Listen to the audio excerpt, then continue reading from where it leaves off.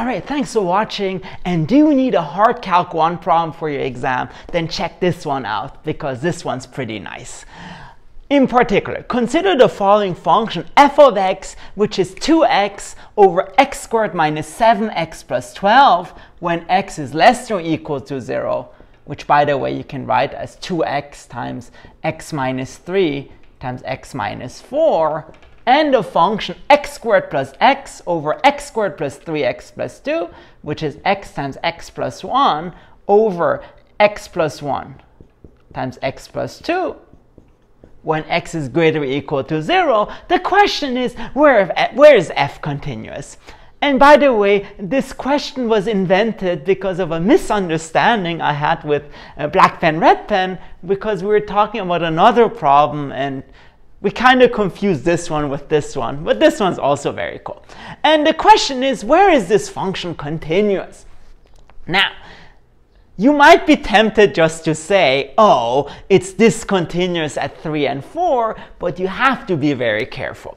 And in particular, what we have to do, first of all, let's check if it's even continuous at 0.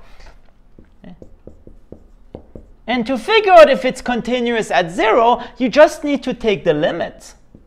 So limit x goes to 0 plus of f of x, or in that case, use this definition. Limit x goes to 0 plus of, again, x squared plus x over x squared plus 3x plus 2 but since this is defined at 0, this actually just equals 0. And finally, the limit as x goes to 0 minus of f of x. You just play the same spiel.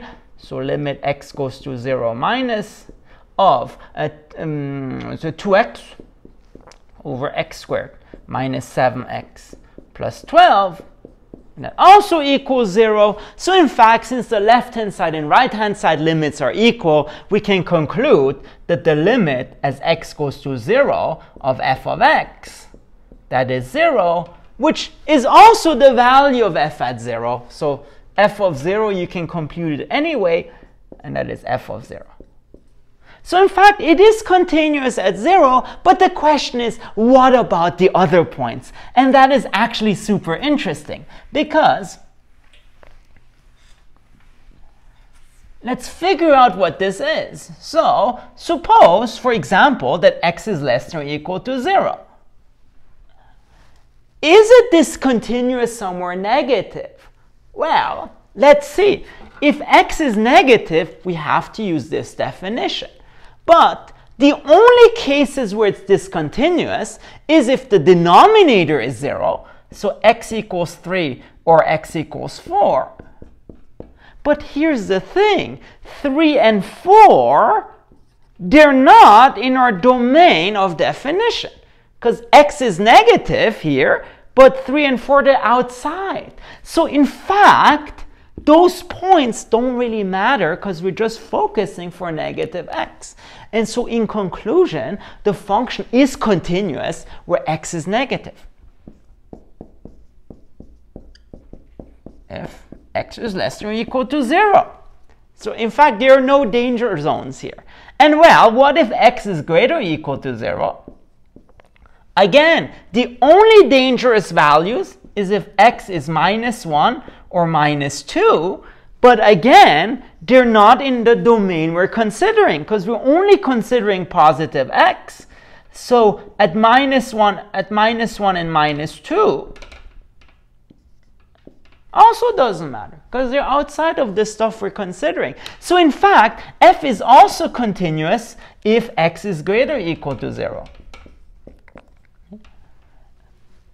And by the way, just side remark, why didn't I just cancel this out? Because sometimes those values do matter. So if x were negative, you can't just cancel out and say it's just discontinuous at minus 2. You would also have to consider minus 1.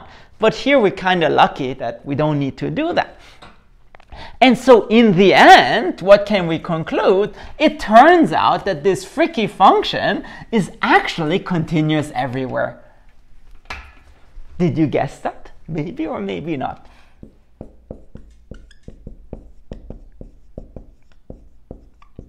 Where?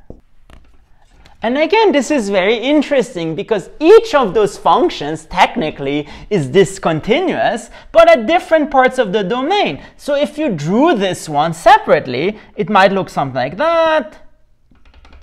Again, I'm not sure if it's exactly like that, but here it's perfectly continuous, and this other function, again, might blow up at minus 1, and might blow up at minus 2, and maybe like that, but here it's also perfectly continuous. And what we're just considering are the perfectly continuous part, not the parts that blow up. Isn't that interesting? So in particular, watch out for the domains when you take a Calc 1 exam.